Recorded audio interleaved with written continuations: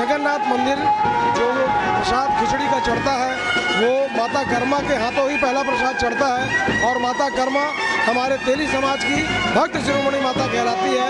हम इनकी जयंती इनका वर्षगांठ मनाने के रूप में ये रैली झांकी निकाल रहे हैं। वैसे साहू समाज बिलासपुर परिवार और पूरे सदस्यगण इसमें शामिल हुए